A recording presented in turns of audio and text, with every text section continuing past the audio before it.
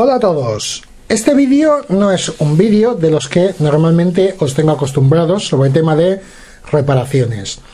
Este vídeo es un vídeo queja dedicado al tema de la obsolescencia programada.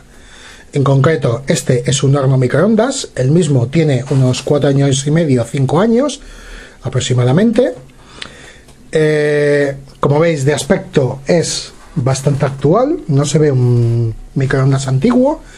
Y el mismo, después de estos años de uso, que ya digo, no es exagerado, puede tener unos 4, y medio 5 aproximadamente, las teclas que habitualmente utilizamos, que es la de cocción y la de minutos, las mismas se han quedado pegadas, principalmente la de cocción, y el horno no funciona.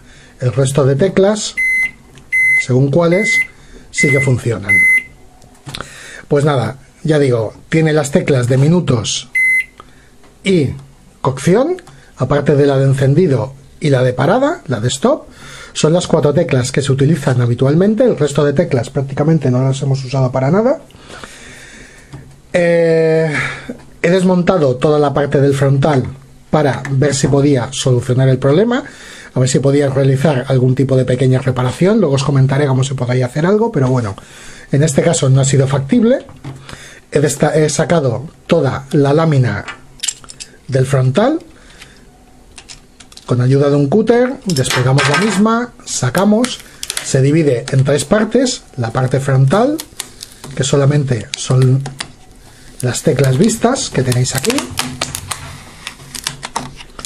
la segunda lámina, que va perfectamente pegada con la tercera, con ayuda del cúter podemos llegar a separar las mismas, aquí la tenéis separada, y lo que he hecho ha sido intentar intercalarle unos trozos de cinta, como estamos viendo, de cinta aislante, entre una tecla en los laterales de cada tecla, para de esta manera darle un poco más de separación de una lámina de plástico con la otra y intentar reparar el problema.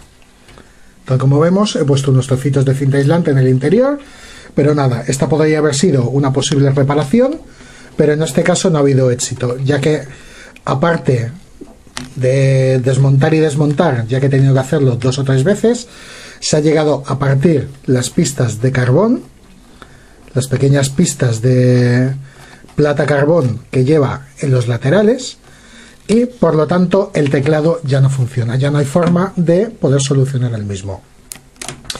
He tratado de buscar repuesto en diferentes casas de internet, en la casa oficial no ha sido posible y en una de las casas donde he conseguido que posiblemente me pudieran localizar el recambio, he hablado con ellos y la respuesta finalmente ha sido que en relación a la consulta le informamos que el recambio solicitado está descatalogado y con el stock agotado, por lo que no podemos suministrárselo, tampoco disponemos de una equivalencia para este artículo, etcétera, etcétera.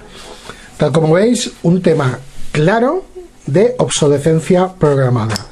Un horno que está funcionando o que estaba funcionando perfectamente, no tiene ningún tipo de desperfecto, podía haber aguantado 5 o 10 años más perfectamente y por un tema de repuestos no es posible reparar el mismo y voy a tener que deshacerme de él.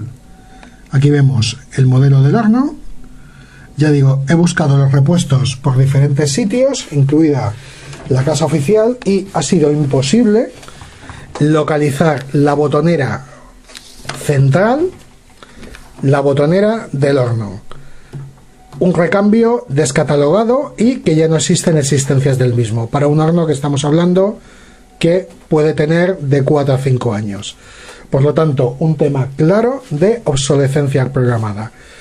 Ya digo, no es un vídeo de los que normalmente os dedico, de temas de reparaciones. En este caso la reparación no ha sido posible, añadiéndole tiras de plástico, tiras de cinta aislante. Y nada, a deshacerse del horno por obsolescencia programada. Eh, más que nada es un vídeo queja, ya digo, no, no es una reparación, es una vídeo queja por los aparatos que tenemos hoy en día, que a la hora de localizar repuestos más de uno se hace imposible y aparatos en perfecto estado, en buen estado de conservación, tenemos que deshacernos de, los, mismos.